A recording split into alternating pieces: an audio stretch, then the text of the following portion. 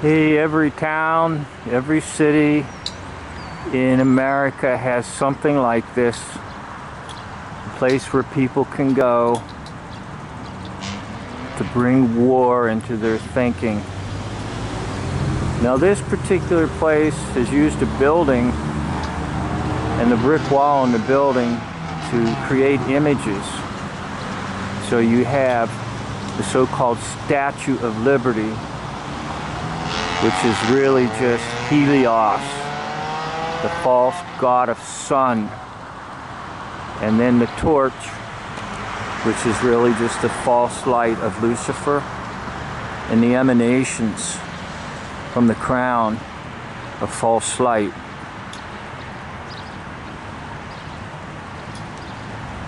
And holding in their hand a plan to control the earth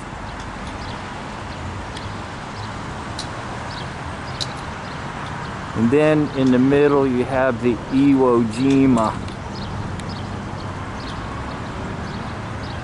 Now I did a series of videos on Iwo Jima.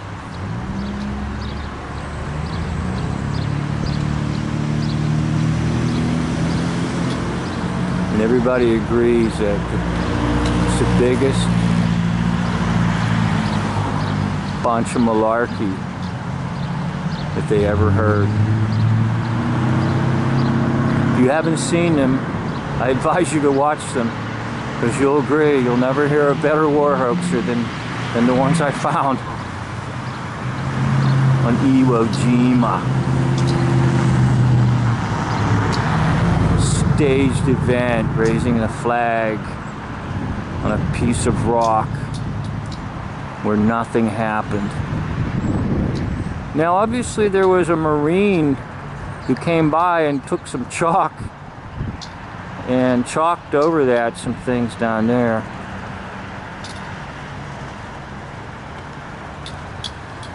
Now, along with the war, you have what? The capital, the money, and as Eustace Mullins says, all wars are bankers' wars because they they they make lots of money by manufacturing a bunch of junk that's never really even used. And then placing the debt of the wars on the heads of all those who are corpses with orations corporations. That's your name in capital letters. I have a lot of videos on that about the war cycles, the war cycle, the corporation cycle.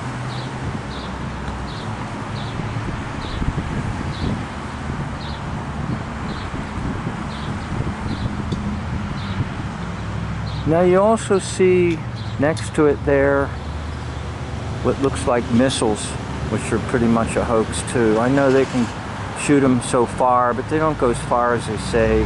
They don't really carry nuclear weapons or anything like that.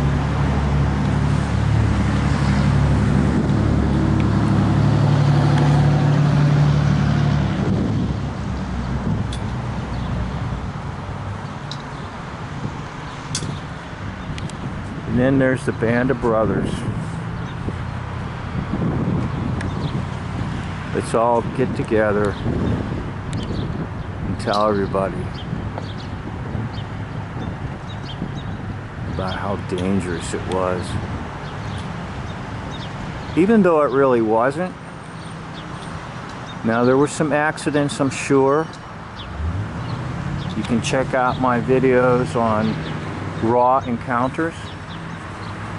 I believe I tell the story about one man in Second World War was on a naval destroyer and they were practicing shooting the guns and one of the shells ejected and injured one of the sailors on board.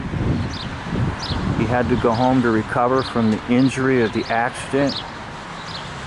And he told me that the newspapers wrote it up that he was a war hero. Now that came from a man who served in World War II. It isn't me making that up. Anyhow, those are called raw encounters.